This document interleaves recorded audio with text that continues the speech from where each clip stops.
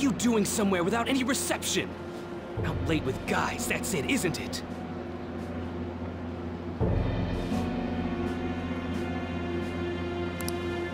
I would never do such a thing! Come on, let me have some fun too, will ya? Can't you do that for me? Ah!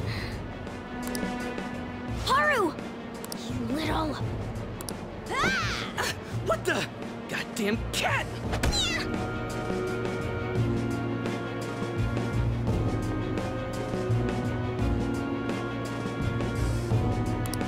Mona-chan!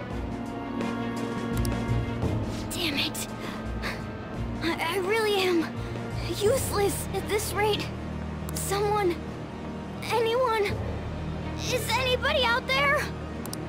Will you shut up, you stupid cat? Damn that Morgana! He is so getting it the next time we run into him.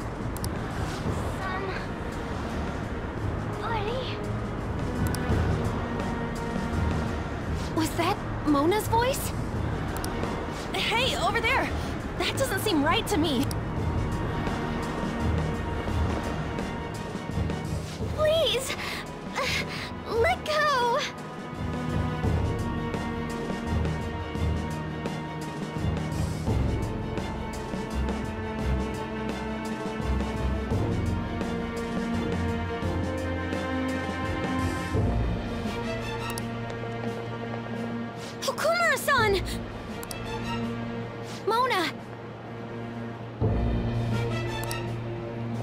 Hell are you doing to our friend?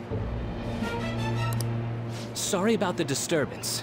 It's just a lover's quarrel with my fiancée. Fion... What? But she's clearly fighting you. How dare you make a fool of me? I'll be telling your father about this too. I won't forget your faces.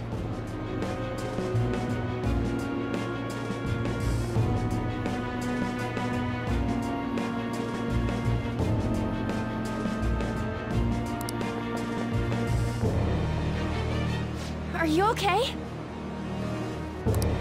I'm fine, but Mona-chan... This is nothing.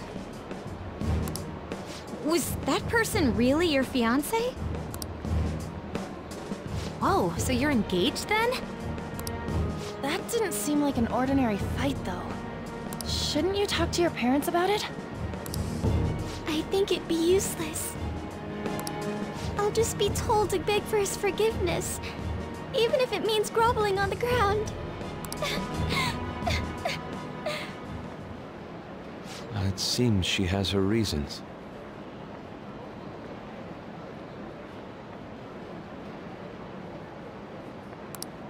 I'll, um, apologize about what happened earlier. So, would you let Haru rest for a while? Of course. We'll take her to your place, yeah? Thanks.